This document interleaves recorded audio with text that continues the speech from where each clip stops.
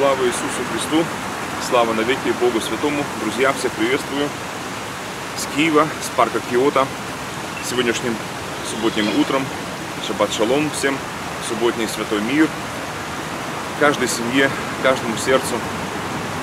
И сегодня э, хочу поделиться из Божьего Слова Евангелие от Иоанна. Начинается такими словами. В начале было Слово, и Слово было у Бога, и Слово было Бог. Оно было в начале у Бога. Все через Него начало быть, и без Него ничто не начало быть, что начало быть. В Нем была жизнь, и жизнь была свет человеков. И свет во тьме светит, и тьма не объяла его. Был человек посланный от Бога, имя ему Иоанн. Он пришел для свидетельства, чтобы свидетельствовать о свете, дабы все уверовали через него. Он не был свет, но был послан, чтобы свидетельствовать о свете. Был свет истинный, который просвещает всякого человека, приходящего в мир – в мире был, и мир через него начал быть, и мир его не познал. Пришел к своим, и свои его не приняли. А тем, которые приняли его, верующим во имя его, дал власть быть чадами Божьими, которые не от крови, не от хотения плоти, не от хотения мужа, но от Бога родились. И Слово стало плотью и обитало с нами, полное благодати и истины. И мы видели славу Его, славу как единородного от Отца. Иоанн свидетельствует о нем и восклицая говорит, «Сей был тот, о котором я сказал, что идущий за мною стал впереди меня, потому что был прежде меня. И от полноты его все мы приняли и благодать на благодать. Ибо закон дан через Моисея, благодать же и истина произошли через Иисуса Христа. Бога не видел никто никогда. Единородный Сын, сущий в недре отчим, Он явил. Слава Спасителю нашему Господу! Благодарю Бога Всемогущего в это субботнее утро. Благоставляю Бога. Благодарю за милость Его, за за Иисуса Христа, который есть свет истинный, свет, пришедший в этот мир. И Он действительно свет, просвещающий всякого человека, приходящего в этот мир. И каждый верный, каждый верующий свидетельствует о свете. Как и Иоанн, он свидетельствовал о свете.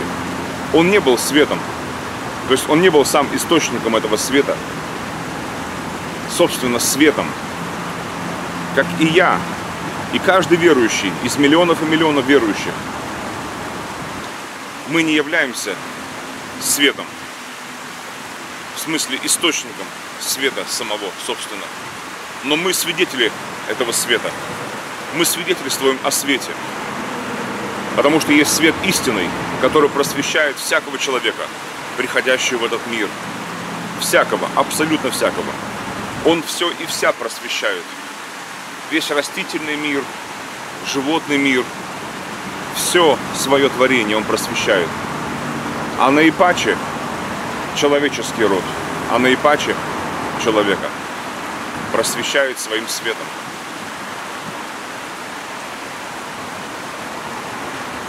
Слава Богу! Благословляю вас, дорогие друзья, во имя Господа Иисуса Христа. Свидетели света Божьего. Господь назвал нас. Вы свет этому миру. Да, и в этом роде мы являемся действительно светом этому миру. Но мы не являемся верующие источником этого света. Он есть источник света. Он, Бог Святой, есть этот свет, истинный, просвещающий всякого человека, приходящего в этот мир. Каждый человек на этой планете просвещаются светом Слова Божьего, светом Христа, светом благодати.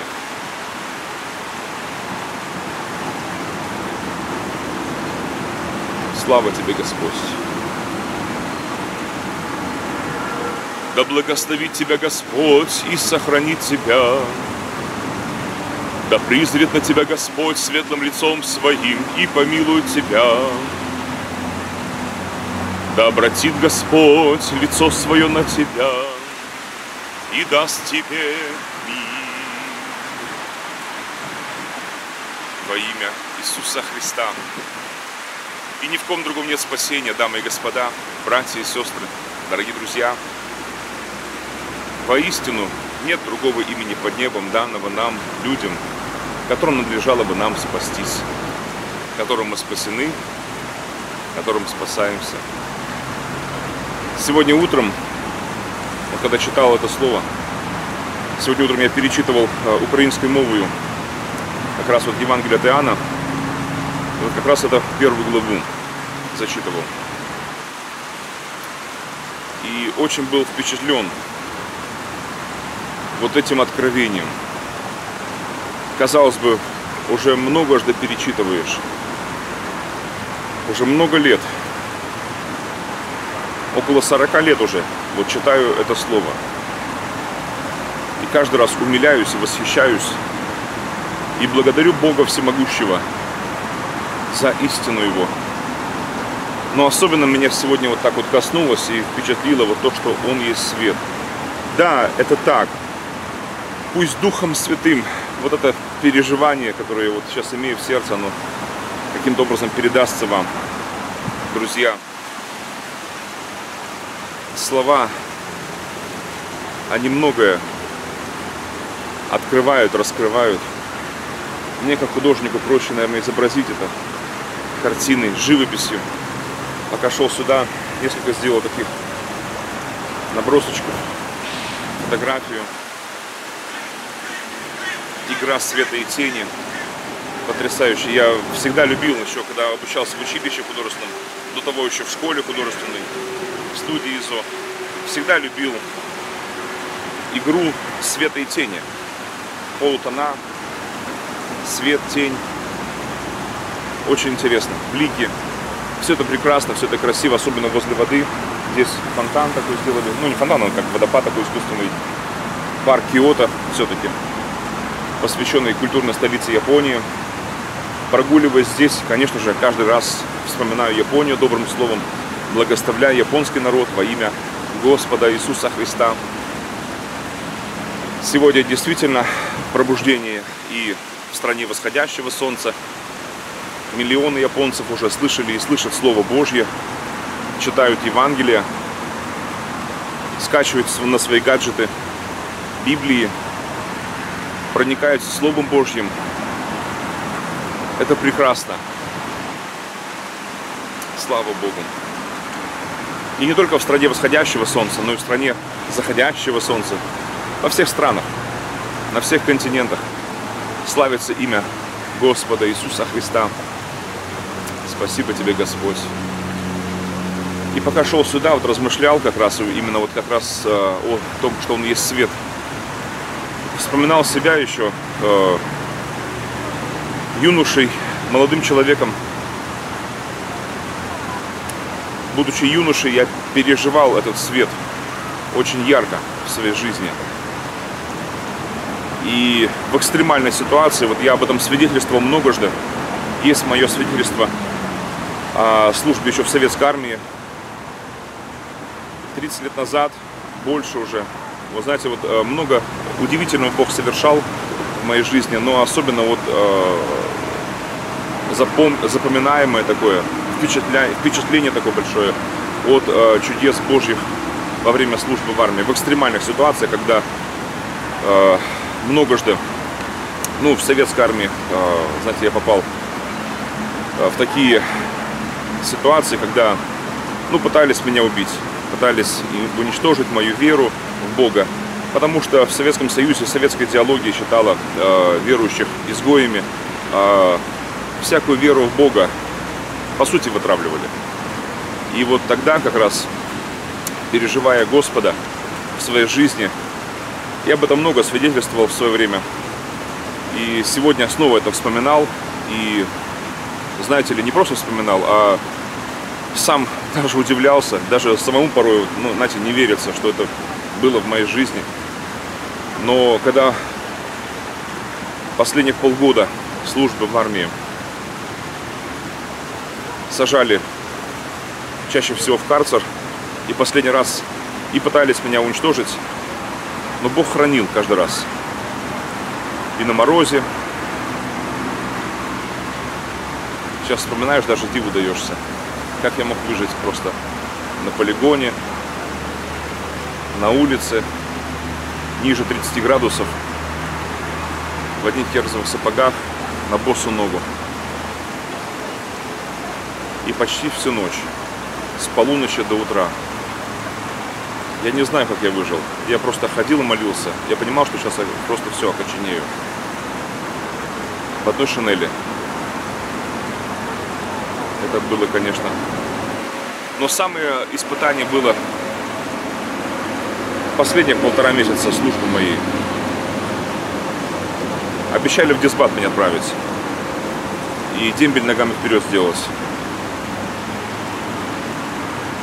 И в карцере меня держали полтора месяца. Не говорили, сколько буду держать. Говорили, что живыми оттуда не вернусь. И все. Вот, и каждый раз продлевали.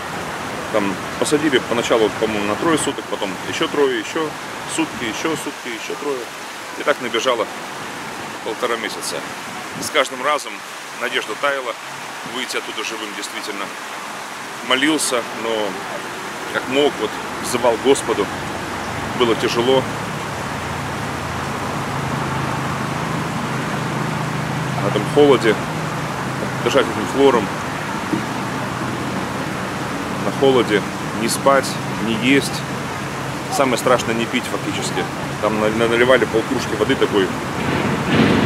Ну и много всего. Я об этом рассказываю. Кому интересно, можете посмотреть об этом э, видео более подробные сейчас как бы не тот формат, как бы свидетельства. Я хочу больше акцентировать внимание даже не на своих страданиях, тогда как верующего человека, а на чуде Божьем. Хочу акцентировать на этом внимание. Потому что об этом сегодня размышляла как раз, идя сюда. Благодаря Бога за все. Восхищаюсь им. Паки и паки, что называется, снова и снова. Спасибо тебе, Господь. Спасибо за благодать, за истину. И когда месяц пребывания там в карцере прошел, то я, знаете ли, был как выжатый лимон. Не было сил никаких, просто-напросто никаких абсолютно сил. Я возопил к Богу. Внутри себя, пол голоса.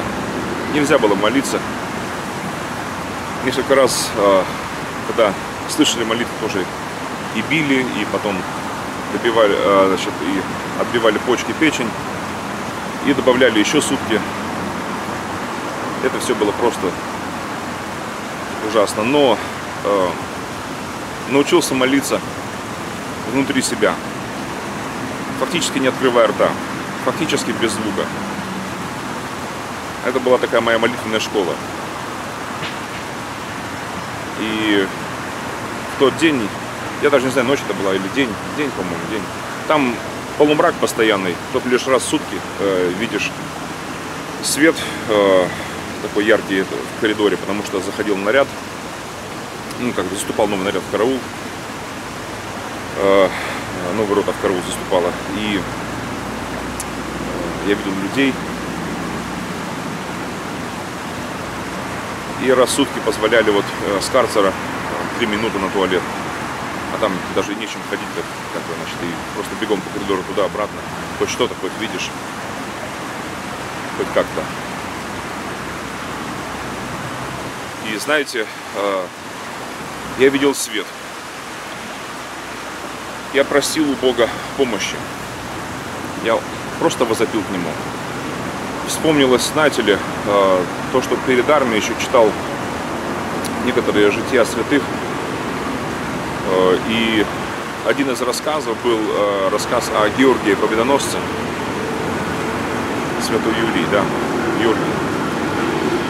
И когда его избили, избивали и его бросили в каземат, и, в общем-то, он должен был умереть, но если выживет, его должны были казнить. Но так получилось, что он не только выжил, он был исцелен. Он был исцелен. Он был исцелен и э, он был спасен от смерти тогда. Вот. И когда э, охранники открыли каземат и должны были, ну, они полагали увидеть э, мертвого Георгия, его мертвое тело окоченевшее, они вдруг увидели живого, здорового, невредимого, а накануне его избили жестоко и бросили в каземат, поэтому должны были ну, побои всякие, но следы побоев исчезли, он просто-напросто был исцелен. И э, это, конечно, их настолько поразило. Он им благовествовал, они восхищались Богом, они понимали, что за это их по головке не погладят, но не кричали «Велик Бог христианский». Они исповедовали Господа, Спасителя. Их казнили в тот же день. Представляете, совершенная любовь действительно изгоняет всякий страх, даже страх перед смертью. Это так. Это каждый верующий опытно в своей жизни проходит и испытывает. Это правда. Удивительно, конечно. И я просто возопил внутри Богу, что было мочи. Знаете ли, можно молча молиться, можно молча кричать, а можно молча просто орать. Вот я в тот день просто молча заорал. Просто завопил, что есть мочи к Богу. Беззвучно, криком.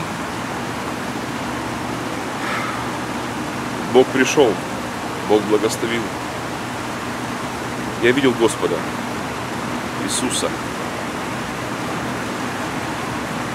Это было однажды в моей жизни, но это запомнилось на всю жизнь. Стена передо мной как будто бы исчезла. Представьте, в полумраке находясь, уже месяц к тому времени, почти месяц, да,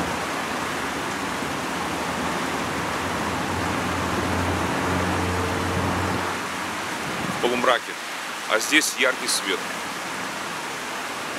Яркий свет который был особенным светом. Он, ну, ну, первая мысль была, наверное, с ума схожу.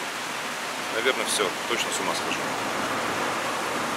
Но я не сходил с ума. Эта мысль сразу же ушла, потому что так стало хорошо, что, как вот говорят, знаете, как что не в сказке сказать, не пером описать.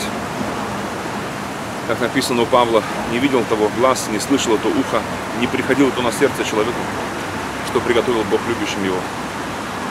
А нам это открывает Он Духом Своим Святым.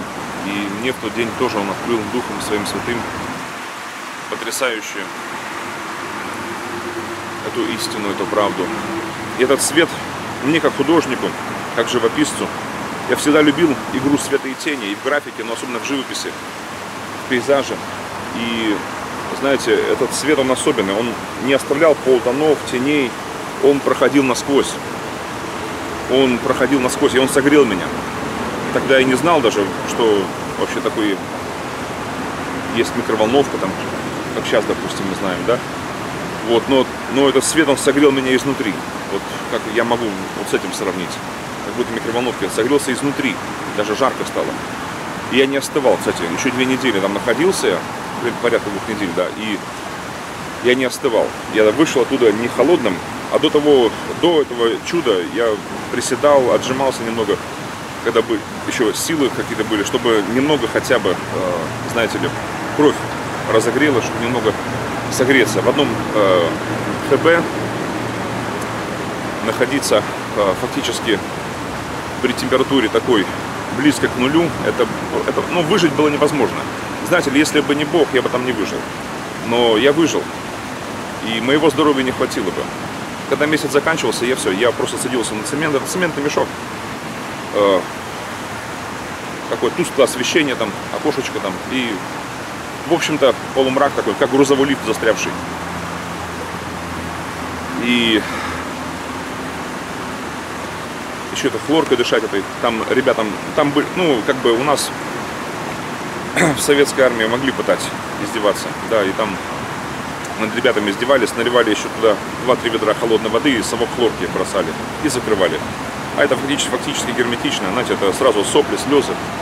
Я был после такого, это называли аквариум у нас. У нас в счастье называли это аквариум. Делали многим ребятам это, вот, ломая людей. Вот. И многие ломались на самом деле. Некоторые вешались, некоторых вешали, а потом списывали на самоубийство. Этот беспредел 80-е годы, еще Советский Союз, я застал, немного застал этого ужаса. Но особую ненависть у офицеров многих вызывала именно вера в Бога.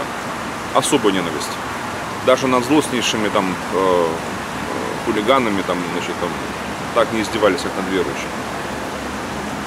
Но я сейчас опять-таки акцентирую внимание, хочу акцентировать внимание не на своих страданиях от верующего человека, а на славе Божьей. Хочу акцентировать на этом внимание. И знаете ли, что произошло? В этом свете я видел еще ярче свет. Кстати, этот свет, который проник в меня, он, он вокруг, он, это не объяснишь словами, он насквозь прошел и проходил насквозь. Я был в этом свете, просто весь в этом свете был. И знаете, он меня накормил, напоил, эм, как-то выразиться, не знаю, сделал так, что как будто бы я выспался, а мое тело чувствовало себя после того две недели выспавшимся. Я не хотел спать, не хотел есть, не хотел пить, не потому что как бы привык, как бы, или это неправда, это не привычка, нет. Это не мои силы были, это его силы, это его благодать, это его истина. И я просто был в этой благодати, купался в этой благодати эти две недели. И потом в этом свете еще ярче свет был. И этот свет не просто свет, а это был Иисус. В духовном мире сразу знаешь, что есть что и кто есть кто. В отличие от физического нашего, ну вот, э, такого э, материального мира, в котором мы живем обычного, да, вот я могу трогать дерево сейчас, допустим, да, вот возле которого стою здесь, вот камни, камни могу потрогать, да, но в том мире я мог бы насквозь это дерево пройти. Не потому, что я нереальный, а потому что это дерево на самом деле оно не такое реальное, как, как э, тот мир реальный. Божий, настоящий истинный мир, он настоящая реальность. Этот мир, он кажущаяся реальность, не настоящая реальность. Оно хорошая, красивая реальность, но не та реальность, которая более реальна. Ну, простите меня за... Э, вот. Такую очень слабую попытку объяснить необъяснимое дамы и господа, братья и сестры, дорогие друзья, это был Иисус. Он улыбался. Я к тому времени знал разные иконы, э, живописные изображения Иисуса, как художник. Третьяковке, э, в Русском музее, э, в Эрмитаже, в храмах. Разные иконы, разные картины, изображающие Иисуса, но вот такого я в жизни видел он настолько улыбался, он такой счастливый. Ну, знаете, выражение такое, потом мне как-то вспомнилось, э, в советское время говорили, довольный как паровоз. Вот, вот он, довольный как паровоз. Вообще довольный, счастливый, просто довольнейший вообще. Вот если вот видели в жизни счастливые люди, допустим, например, вот особенно мне нравится вот, э, он и она, допустим, выходят э, замуж, женятся, допустим, да, образуется семья, свадьба, вот счастливые вот видели есть пары особенно счастливые, сияющие этим счастьем, да, потрясающие вот переживания. Я очень люблю венчать, э, сочетывать браком людей, благоставлять новые семьи. Вот, и каждый раз просто наслаждаюсь, видя э, радость эту. Много, ну, не знаю, других людей испытали счастье. Да каждый из нас испытывал счастье какое-то в своей жизни определенное. И испытывает. Вот, э, и некоторые моменты счастливые помнятся всю жизнь вообще. Но, знаете, э, самое интересное, что э, вот самые счастливые моменты своей жизни или других людей ни, ни в какое сравнение не идут с его счастьем. Он такой счастливый, такой довольный. Особенно запомнилась глаза и улыбка. Я не мог это передать. Как художник я пытался даже несколько раз это передать. Может быть, по милости Господней Бог вдохновит, как-то смогу передать что-то, но попытаюсь. Ха, спасибо, Господь, спасибо тебе за все.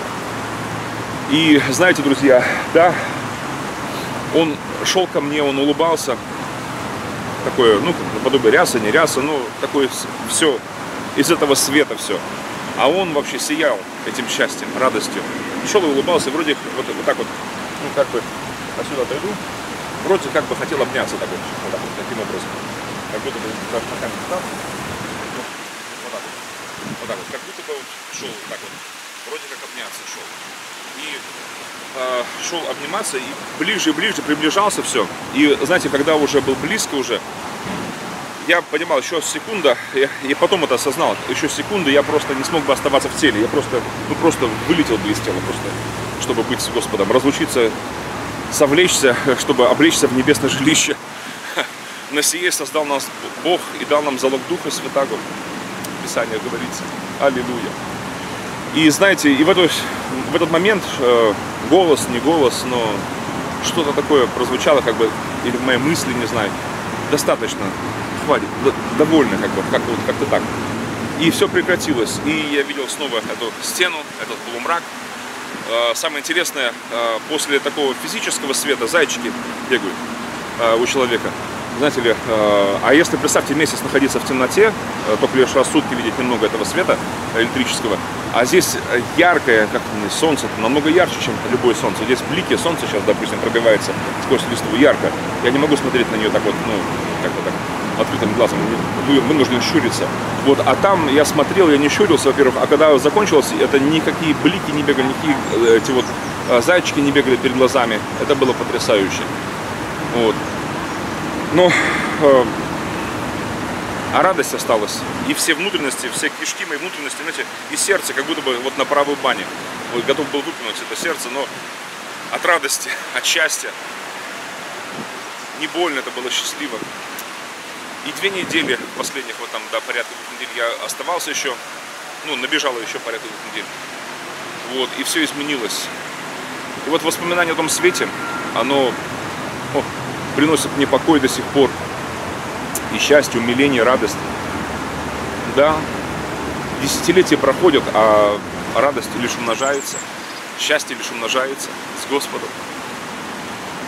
И, знаете, а, конечно, переживать гонения это очень э, непросто. Я это знаю по себе и по э, вот моему раннему христианству, моему, да, юношескому христианству. И еще до того, до армии, первые эти гонения э, от самых близких и родных людей, знаете, это очень было все трудно переживать.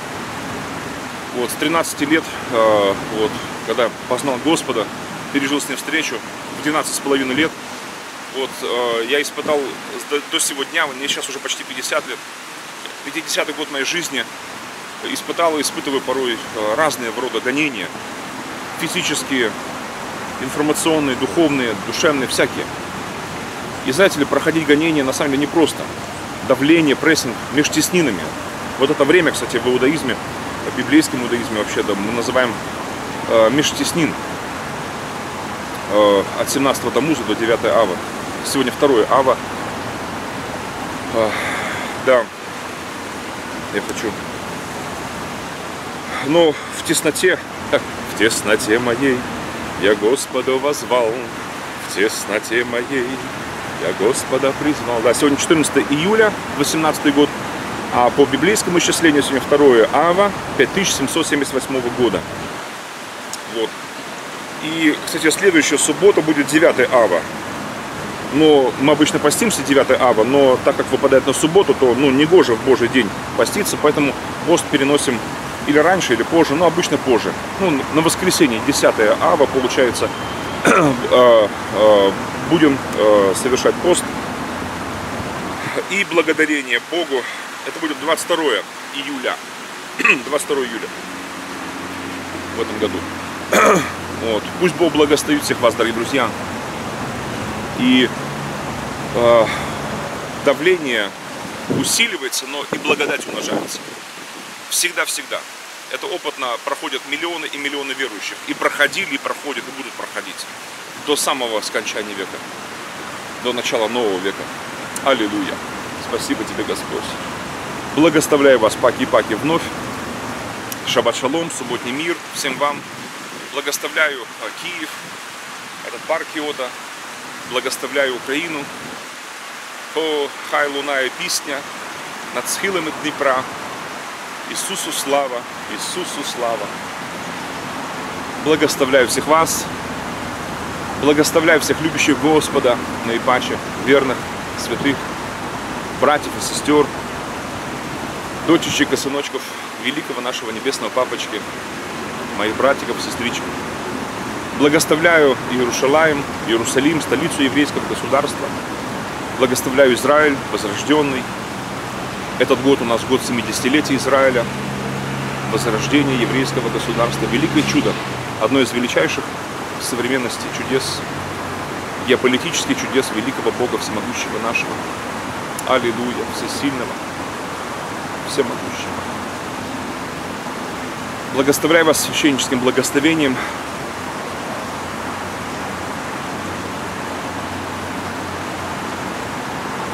И пусть свет Христов просвещает всех. Свет Божий просвещает всех. Наши мысли, наши сердца, наши судьбы светом Бога Всемогущего.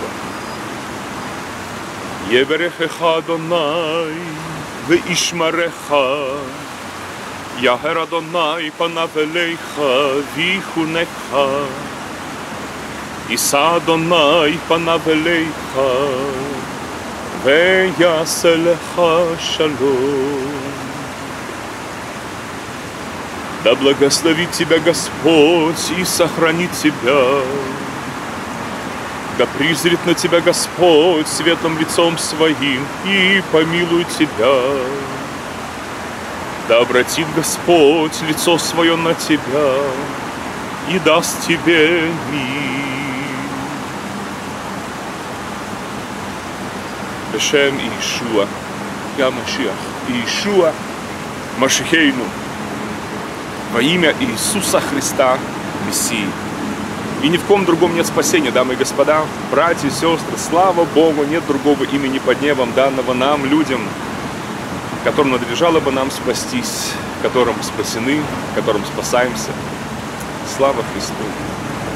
Благословляю вас Духом Святым, Господь, прикоснись к каждому из слушателей, зрителей во имя Иисуса Христа. Благослови Израиль, благослови Иерусалим, благослови Киев, благослови Украину. Аллилуйя. Слава тебе за все. Аминь. Из города Киева, с парка Киота, Божьей милостью, архиепископ Сергей Журавлев, реформаторская православная церковь Христа Спасителя. Мир всем вам. Ну и, дамы и господа, по скриптум скажу, что э, остается чуть больше месяца у нас до собора нашего реформаторской, обновленческой, такой евангельской православной конференции. Э, Преображенский, Преображенский собор. 19 э, августа будем проводить, воскресенье. А перед тем, 18 августа, э, будет предсоборный шаббат. Думаю, что здесь проведу как раз этот шаббат. Вот, и, и, в, и в прямой трансляции, и здесь вот в молитве приглашаю всех вас во имя Господа Иисуса Христа. До встречи и на земле, и на небесах, в вечности. Аллилуйя. Аминь. Шаббат шалом, шаббат шалом.